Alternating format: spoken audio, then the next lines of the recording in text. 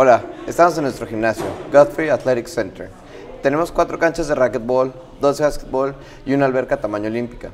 También nosotros los cadetes podemos venir y pedir por balones de básquetbol, de voleibol o otro equipo que necesitamos para hacer los deportes en el gimnasio.